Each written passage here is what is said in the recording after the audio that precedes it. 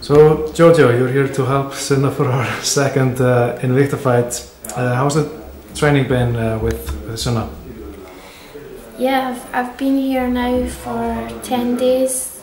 Tomorrow's my last day I go back and training's been awesome. It's been great to be here with Sunna and she's still got another two weeks before the fight but uh, it's been great to be part of uh, training with her and helping her on the mat and outside the mat. I even done her dishes so uh, yeah we've been training hard and everything's been good. Mm -hmm. Now you seem to share a great bond between you. Uh, is that important in your opinion in, in, in training partners to have a good bond with them? Yeah, it's it's funny. Like we do share a really close uh, connection with each other. I think we just have the kind of similar personalities. We're both really quiet. Uh, we both love training. We train hard, and I think the both of us keep a lot of things in. And like then we fight and we let everything out. So it's good to have a kind of similar fighter to you. And obviously she loves training and. Uh, so yeah, so it's good that she wants to train all the time and uh, yeah, I, don't really have much experience with girl uh, training partners, so uh, yeah, make an exception for Sunna though. I saw that you got a new tattoo here recently. can you tell me a bit about that? Yep. yesterday I went and got my first Icelandic tattoo. I say first because I'm probably going to get more because I love the I love these kind of designs and uh, the writing. But yeah, uh, it means balance and it's in Icelandic rune writing, and I love it. You've been uh, training at TriStar and not training here for a few days, and and then you of course spent some time in Scotland. So how are you balancing these things? Uh, yeah, like I've been like the balance, like that's kind of been my thing this year. I've been trying to find the right balance with everything, and uh, yeah, it's been good. Uh, I've not really, I've not been in Scotland since uh, the start of the year, and uh, loving things in Montreal right now, and uh, it was great to come over to Iceland. I love the country, I love the people, and uh, the gang here are awesome and yeah I'm just just love it right now and uh, the balance is, is getting there. awesome. Uh, now you uh, used to uh, you you had uh, four fights in Invicta before you went to the Ultimate Fighter. How was the transition for you to go from Invicta to the UFC? The transition was uh, kind of hard at the start because I had such a close connection with Shannon Knapp and Invicta promotion. I just kind of I loved it there, and uh, to to go then go into a reality show, I was like, well, this is kind of not me, but. Uh, at the same time, I knew it was an opportunity I couldn't let up, and uh, they Invicta really helped us I feel like for any female fighter, especially someone coming from Scotland, like I did not think that anyone would want to spend that money on me, taking me over to America and uh, I'm really, really grateful that I was part of it and they, they took that risk with me. You wanted to get a fight on the London card but you're not, didn't get one. Uh, was that uh, disappointing?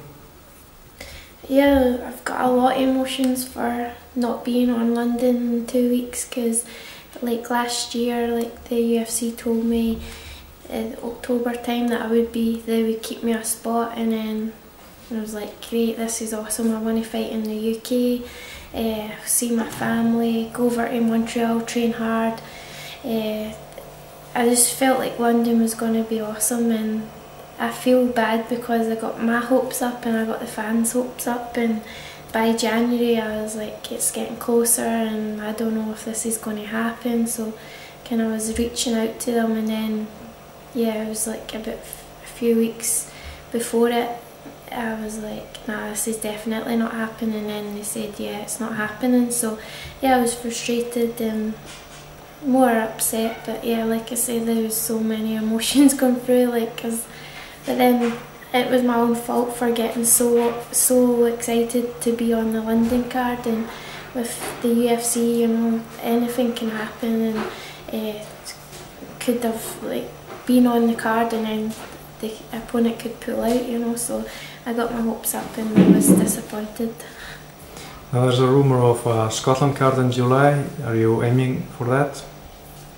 Yeah, like uh, I heard like few days ago and my Twitter was going mental and I was like, oh, what's this? And I've seen the rumours and stuff and I don't know anything official the UFC's not told me anything but can only hope that the rumours are true and uh, they come back because when they first came to Scotland it was a, an amazing experience and so glad to be part of it and uh, yeah can only hope that they do come back and I mean for me to wait till July I would be, because it would be in Scotland I would be like right okay like I would be happy with that but uh, obviously I would like another couple of fights before then but the time is running out.